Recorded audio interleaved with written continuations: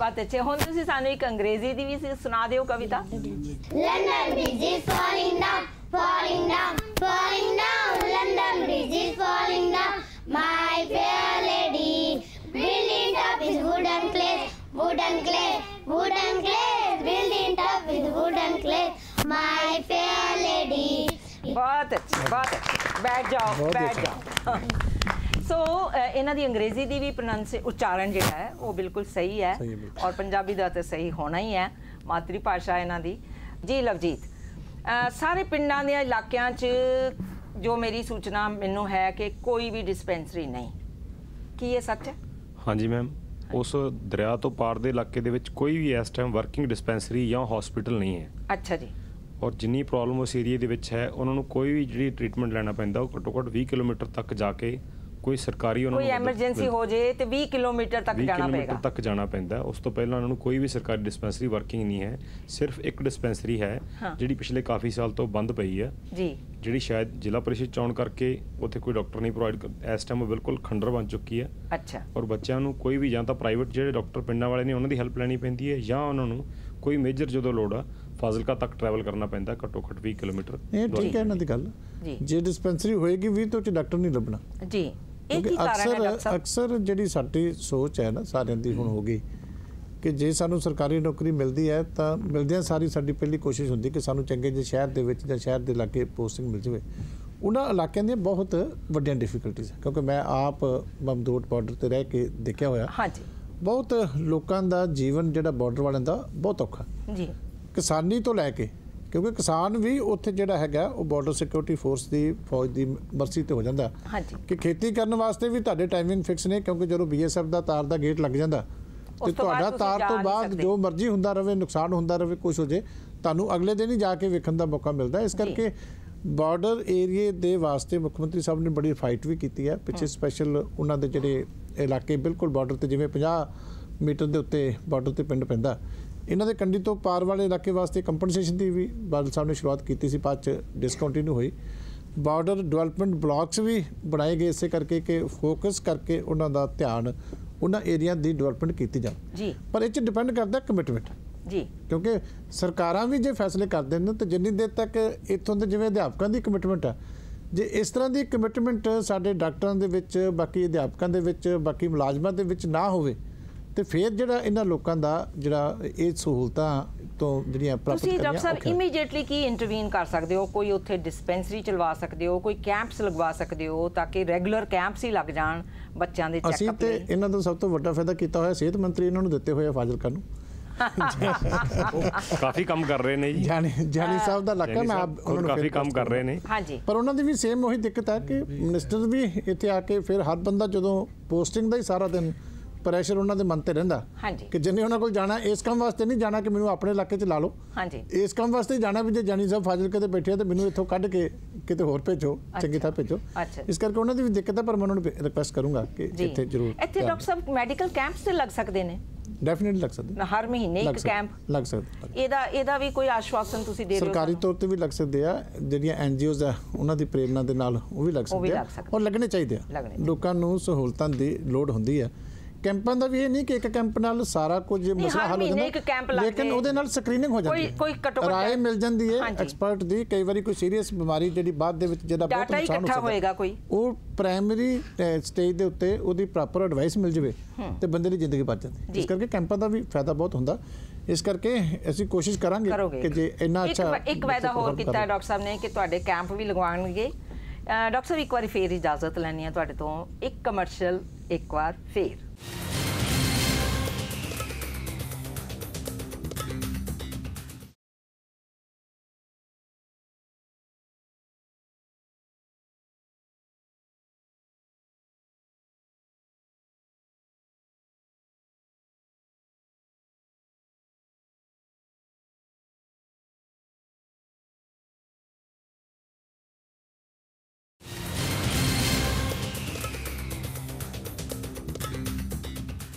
ਹੁਣ ਮੇਰੇ ਕੋਲ ਤੁਹਾਡੇ ਲਈ ਕੁਝ ਸਵਾਲ ਨੇ ਕਿ ਇਹਨਾਂ ਦੇ ਇਲਾਕੇ ਜੀ ਬਹੁਤ ਵੱਡੀਆਂ ਵੱਡੀਆਂ ਔਕੜਾਂ ਨੇ ਤੇ ਤੁਹਾਡੀ ਖਾਸ ਤੌਰ ਤੇ ਤਵੱਜੋ ਸਾਨੂੰ ਇਮੀਡੀਏਟਲੀ ਚਾਹੀਦੀ ਹੈ। ਪਹਿਲੀ ਤੇ ਗੱਲ ਡਾਕਟਰ ਸਾਹਿਬ, ਉੱਥੇ ਸਾਰੇ ਸੀਵਰੇਜ ਦਾ ਡਰੇਨ ਫਾਈਨਲ ਹੈ।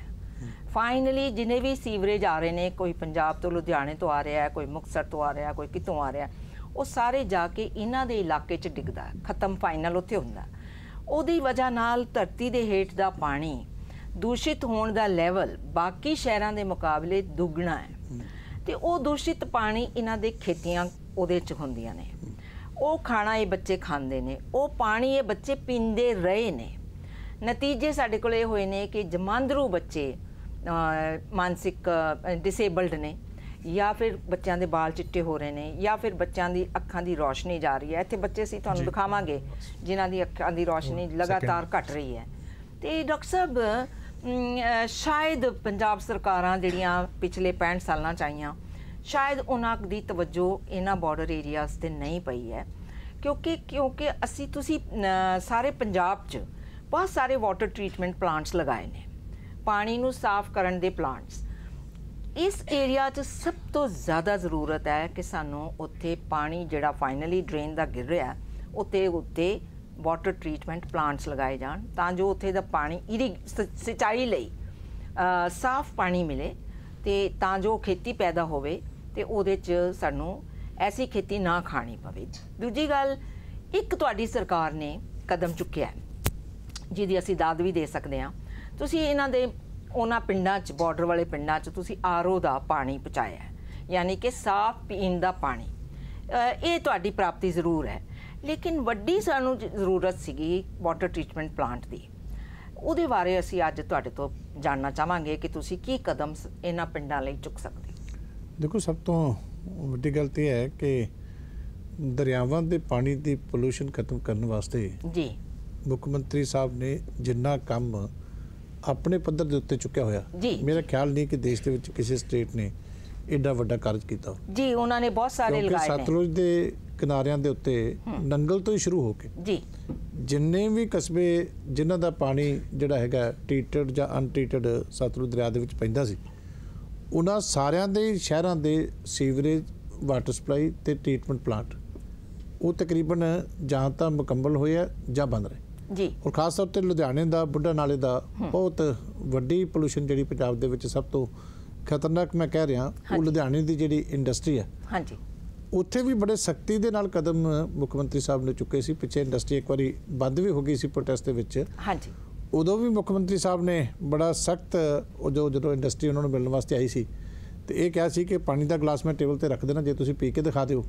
ਤੇ ਇਹ ਪਾਣੀ ਜਿਹੜਾ ਤੁਸੀਂ ਇੰਨਾ ਪੋਲਿਊਟ ਕਰ ਰਹੇ ਹੋ ਇਹ ਸਾਡੇ ਪਿੰਡਾਂ ਦੇ ਲੋਕੀ ਅੱਗੇ ਪੀਂਦੇ ਆ। ਕਿਉਂਕਿ। ਮੁੱਖ ਮੰਤਰੀ ਸਾਹਿਬ ਦਾ ਆਪਣਾ ਵੀ ਜਿਹੜਾ ਲੰਬੀ ਦਾ ਇਲਾਕਾ ਉਹਨਾਂ ਦਾ ਫਾਜ਼ਿਲਕੇ ਦੇ ਬਿਲਕੁਲ ਉੱਥੇ ਨੇੜੇ ਆ ਜਾਂਦਾ। ਹਾਂਜੀ।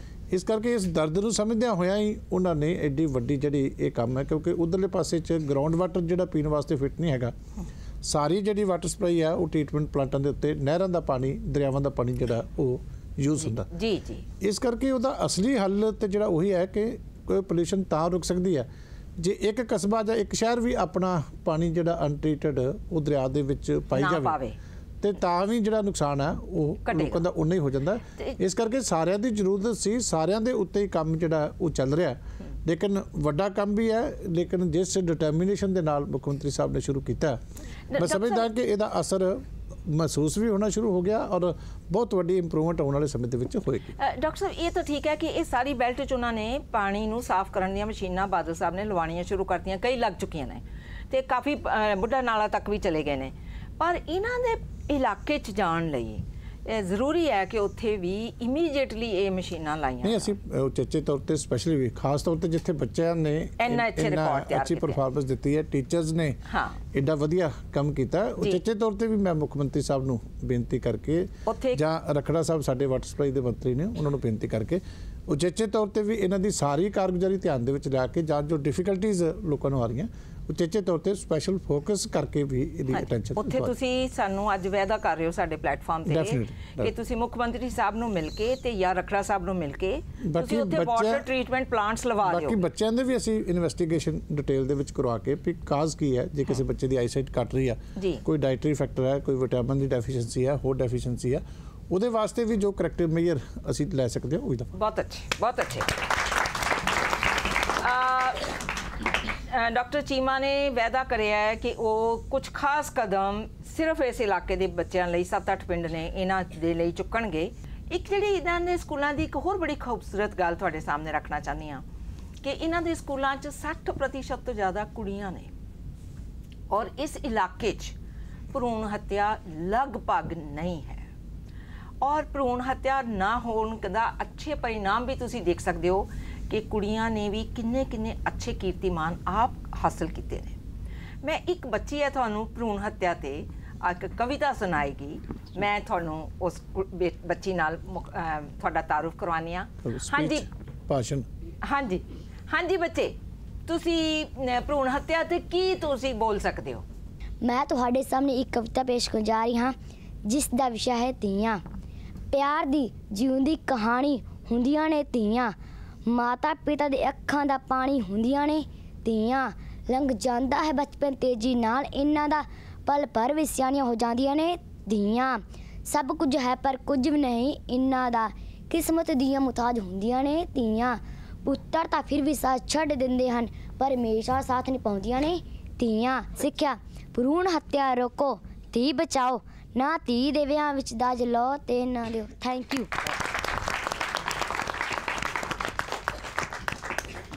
ਇੱਕ ਲਾਈਨ ਹੋਰ ਜੋੜ ਦਿਓ। ਜੇ ਧੀਆਂ ਨੂੰ ਪੜਾਓ ਤਾਂ ਕਿਸੇ ਚੀਜ਼ ਦੀ ਲੋੜ ਨਹੀਂ ਪੈਣੀ। ਹੈ ਨਾ? ਠੀਕ ਹੈ? ਅੱਛਾ ਜੀ। ਹਾਂਜੀ ਤੁਸੀਂ ਕੁਝ ਕਹਿਣਾ ਚਾਹ ਰਹੇ ਸੀਗੇ? ਜੀ। ਦੋਨਾ ਨਾਨਕਾ ਸਕੂਲ ਦੀ ਇਹ ਪ੍ਰਾਪਤੀ। ਅੱਜ ਤੋਂ ਕੁਝ ਸਾਲ ਪਹਿਲਾਂ ਦੋਨਾ ਨਾਨਕਾ ਸਕੂਲ ਦੀ ਇੱਕ ਬੱਚੀ ਨੇ ਧੀਆਂ ਦੀ ਗੱਲ ਆਪਾਂ ਕਰ ਰਹੇ ਹਾਂ। ਇੱਕ ਬੱਚੀ ਨੇ 450 ਵਿੱਚੋਂ 446 ਨੰਬਰ ਲੈ ਕੇ ਬਹੁਤ ਅੱਛੇ ਪੰਜਵੀਂ ਜਮਾਤ। ਵਿੱਚੋਂ ਪੰਜਾਬ ਵਿੱਚੋਂ ਟੌਪ ਕੀਤਾ ਸੀ। ਔਰ ਕੁਝ ਐਨਆਰਆਈ ਭਰਾਵਾਂ ਦੀ ਮਦਦ ਨਾਲ ਉਹ ਤੇ ਇੱਕ ਲੜਕੀ ਹੋਰ ਅਕਾਲ ਅਕੈਡਮੀ ਬੜੂ ਸਾਹਿਬ ਵਿਖੇ ਆਪਣੀ ਐਜੂਕੇਸ਼ਨ ਲੈ ਰਹੀਆਂ ਨੇ। ਹੁਣ ਉਹ ਪਲੱਸ 1 ਮੈਡੀਕਲ ਦੀਆਂ ਸਟੂਡੈਂਟਸ ਨੇ ਔਰ ਉਹਨਾਂ ਨੂੰ ਲਾਈਫ ਟਾਈਮ ਸਪਾਂਸਰਸ਼ਿਪ ਮਿਲੀ ਹੋਈ ਹੈ। ਲਾਈਫ ਟਾਈਮ ਸਾਰੀ ਉਮਰ ਦੀ ਪੜ੍ਹਾਈ ਦਾ?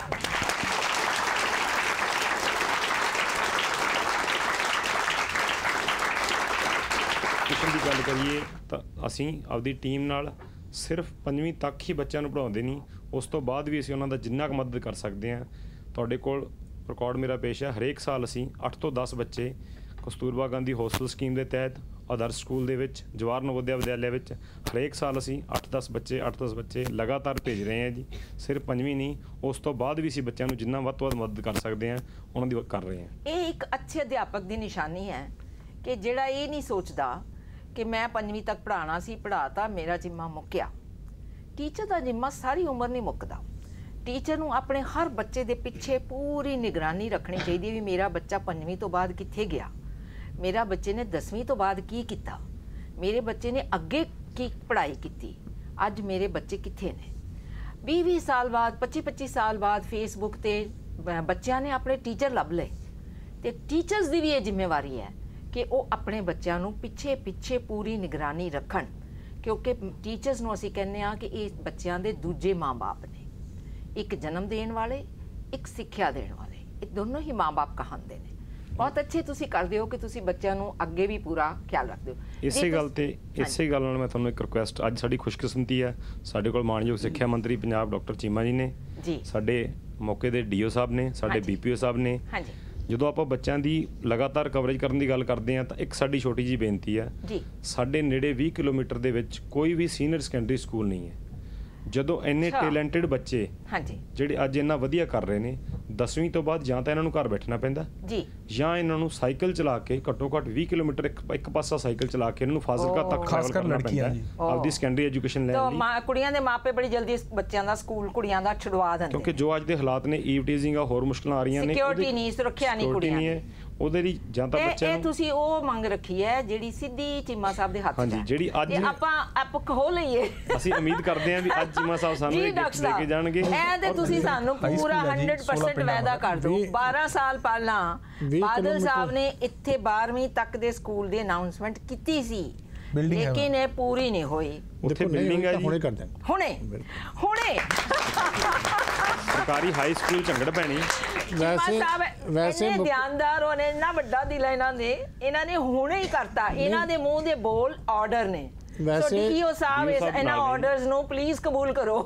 ਵੈਸੇ ਕਦੀ ਮੁੱਖ ਮੰਤਰੀ ਸਾਹਿਬ ਜਿੱਥੇ ਅਨਾਉਂਸਮੈਂਟ ਕਰਕੇ ਆਉਂਦੇ ਆ ਅਕਸਰ ਉਹਨਾਂ ਮੈਨੂੰ ਦਾ ਲੱਗਦਾ ਕਿਤੇ ਕੋਈ ਸੇਮ ਅਣਗਹਿਲੀ ਨਹੀਂ ਕਿਤੇ ਲੈਵਲ ਤੇ ਕੋਈ ਅਣਗਹਿਲੀ ਰਹਿ ਗਈ. ਕਿਉਂਕਿ ਅਦਰਵਾਈਜ਼ ਜੋ ਕਿਤੇ ਵੀ ਅਨਾਉਂਸਮੈਂਟ ਕਰਕੇ ਆਉਂਦੇ ਆ ਪੂਰੀ ਹੁੰਦੀ। ਪਰ 20 ਕਿਲੋਮੀਟਰ ਤਾਂ ਵੈਸੇ ਹੀ ਅਨਜਸਟੀਫਾਈਡ ਬਹੁਤ ਅੱਛੇ ਬਹੁਤ ਮਿਹਰਬਾਨੀ ਸਰ। ਗੱਲਬਾਤ ਬੜੀ ਹੀ ਰੁਚਿਕਰ ਹੋ ਰਹੀ ਹੈ, ਪਰ ਮੈਨੂੰ ਇਜਾਜ਼ਤ ਦਿਓ ਇੱਕ ਕਮਰਸ਼ੀਅਲ ਬ੍ਰੇਕ ਦੀ, ਜਲਦ ਵਾਪਸ ਹਾਜ਼ਰ ਹੋਣੇ ਆ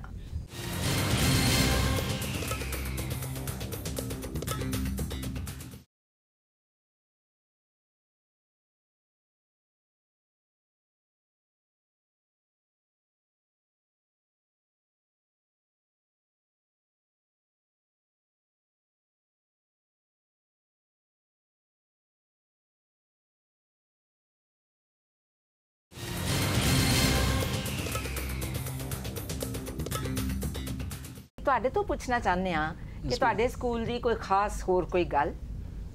ਮੈਮ ਸਾਡੇ ਸਕੂਲ ਦੇ ਵਿੱਚ ਐਕਚੁਅਲੀ ਜਦੋਂ ਮੈਂ ਜੁਆਇਨ ਕੀਤਾ ਸੀਗਾ 2009 ਦੇ ਵਿੱਚ ਮੈਨੂੰ ਅੱਜ 6 ਸਾਲ ਹੋ ਗਏ ਆ। ਜੀ। ਤਾਂ ਮੈਂ ਇੱਥੇ ਚੰਡੀਗੜ੍ਹ ਹੀ ਪੋਸਟ ਗ੍ਰੈਜੂਏਸ਼ਨ ਕਰ ਰਿਹਾ ਸੀ ਆਪਦੀ ਤੇ ਜਦੋਂ ਮੈਂ ਜਾ ਕੇ ਜੁਆਇਨ ਕੀਤਾ ਤਾਂ 1-2 ਮਹੀਨੇ ਬਾਅਦ ਮੇਰੇ ਫਰੈਂਡਸ ਆਏ ਸੀਗੇ ਚੰਡੀਗੜ੍ਹ ਵਾਲੇ ਸਕੂਲ ਦੇਖਣ ਮੇਰਾ। ਵੀ ਸਾਡੇ ਫਰੈਂਡ ਨੇ ਕਿੱਥੇ ਜੁਆਇਨ ਕੀਤਾ। ਜੀ ਤੇ ਜਦੋਂ ਆਏ ਸੀ ਕਾਫੀ ਹੈਰਾਨ ਹੋਏ ਸੀ ਤੇ ਹੱਸੇ ਵੀ ਸੀ ਮੇਰੇ ਤੇ ਵੀ ਤੂੰ ਚੰਡੀਗੜ੍ਹ ਛੱਡ ਕੇ ਤੇ ਇੱਧਰ ਸਰਕਾਰੀ ਸਕੂਲਾਂ 'ਚ ਆ ਗਿਆ ਉਦੋਂ ਕੁਝ ਐਦਾਂ ਆਇਆ ਦਿਲ 'ਚ ਵੀ ਇਹਨਾਂ ਨੂੰ ਇਹ ਚੀਜ਼ ਕਰਕੇ ਵਿਖਾਉਣੀ ਹੈ ਲੋਕਾਂ ਨੂੰ ਵੀ ਜਿਹੜਾ ਸਰਕਾਰੀ ਸਕੂਲ ਦੀ ਇਮੇਜ ਸਰਕਾਰ ਦੀ ਇਮੇਜ ਤੇ ਟੀਚਰਸ ਦੀ ਇਮੇਜ ਉਹ ਸਾਰੀ ਬਦਲ ਜਾਏ ਟੋਟਲੀ ਬਹੁਤ ਅੱਛੇ। ਸਾਡੇ ਕੋਲ ਉਦੋਂ ਦੋ ਕੁ ਰੂਮ ਹੁੰਦੇ ਸੀਗੀ ਸਾਰੇ ਬੱਚੇ ਨੀਚੇ ਬੈਠਦੇ ਸੀ ਸਾਰਾ ਸਕੂਲ ਮਤਲਬ ਇੱਕ ਤਰ੍ਹਾਂ ਕਹਿ ਲਓ ਕੱਚਾ ਸੀਗਾ ਕੋਈ ਡਰਿੰਕਿੰਗ ਫੈਸਿਲਿਟੀ ਨਹੀਂ ਸੀ ਕੋਈ ਸਿਟਿੰਗ ਅਰੇਂਜਮੈਂਟ ਨਹੀਂ ਸੀਗਾ। ਹੁਣ ਅਸੀਂ ਇੱਕ ਸਾਡੀ ਫੇਸਬੁੱਕ ਤੇ ਅਸੀਂ ਆਈਡੀ ਬਣਾਈ ਹੋਈ ਹੈ ਸਕੂਲ ਦੇ ਨਾਮ ਤੋਂ। ਤਾਂ ਉਹ ਕਿਸੇ N R I Arun Kumar ji ਹੈਗੇ ਯੂ ਐਸ ਏ ਚ ਰਹਿੰਦੇ ਆ। ਕੁਦਰਤੀ ਉਹਨਾਂ ਨੇ ਦੇਖ ਲਈ ਫੇਸਬੁੱਕ ਤੇ। ਜੀ। ਤੇ ਉਹਨਾਂ ਨੇ ਸਾਨੂੰ ਕਾਫੀ ਡੋਨੇਸ਼ਨ ਉੱਥੋਂ ਅਮਰੀਕਾ ਤੋਂ ਭੇਜੀ ਜੀ ਜਿਹਦੇ ਨਾਲ ਅਸੀਂ ਡੈਸਕਸ ਸਿਟਿੰਗ ਅਰੇਂਜਮੈਂਟ ਸਾਡਾ ਹੋ ਗਿਆ ਜੀ।